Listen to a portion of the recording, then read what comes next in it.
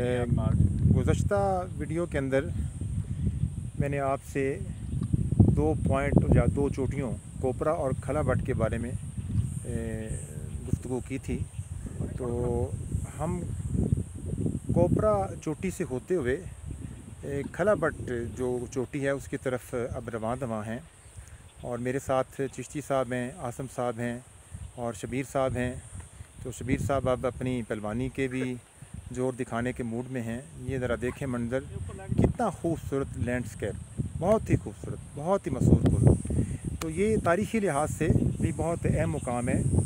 खला बट का। ये चारों तरफ़ से आप ज़रा देखें इसके मनाजर को और सामने ऊपर चोटी जिस तरफ़ हम जा रहे हैं खला बट की।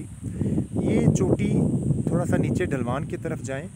तो ज़िला मुजफ़्फ़रबाद की हदूद शुरू हो जाती है और जहाँ हम खड़े हैं, ये ज़िला बाग की तरफ़ है। ये दोनों अजला के दरमियान ये जो पार्टीशन है या डिवीज़न है इसकी अहमियत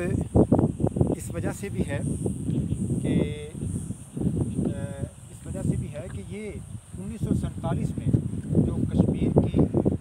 आज़ादी की जंग लड़ी गई थी तो उसमें इस मुकाम पर बहुत बड़ा मार्का हुआ था और डोगरा फ़ौज थी, उसको शिकस्त फाश का सामना करना पड़ा और इसके हवाले से यहाँ शोधा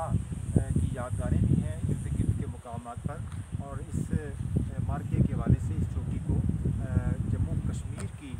तारीख के अंदर बहुत अहमियत हासिल है। तो ये जो सरबुलंद चोटियाँ हैं सर सब्ज़ शादाब और एक आज़ाद आज़ाद जम्मू कश्मीर के हवाले से हमारे हमारा हिस्सा है इस वक्त तो ये ऐसे ही इनके नाम नहीं है, ऐसे ही ये सरबुलंदी नहीं है। ये इन्होंने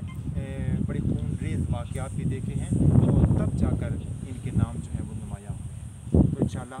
आगे जब जाऊँगा तो फिर अगर